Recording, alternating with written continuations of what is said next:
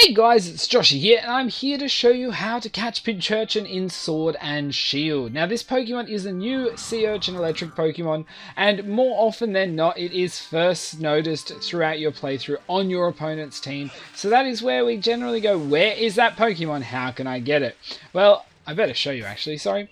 It is found on Route 9 in two sections of it, in Route 9 and in um, Cherkes, sorry, Circhester Bay on Route 9, but not in the outskirts of um, Spike Mountains on Route 9. So you've got the first two section, it can be found in the grass areas, and this is not found in the overworld, it is only found in those shaking grass parts you see, which I will show you, and it only has a 5% chance. So best to go to Circhester and head down from there. So we will head down, obviously, and find ourselves a nice patch of grass. This one looks nice enough. As you can see, there's a little Pyukumuku in there. We run around, that's all we need, this type of grass, and this has a 5% chance to give us what we want. So let me run around in circles until I get a Pincurchin.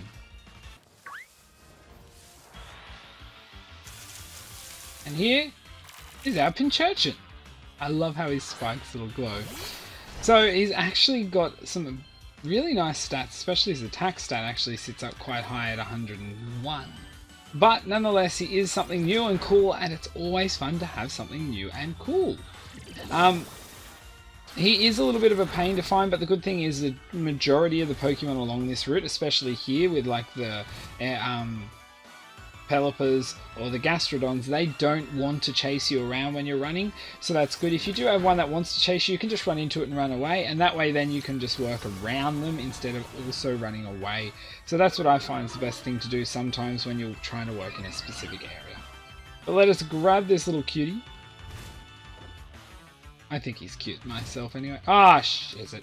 Well, anyway, you guys know how to find him. I forgot about the hail. Uh, again, this is not the first video I've done this in.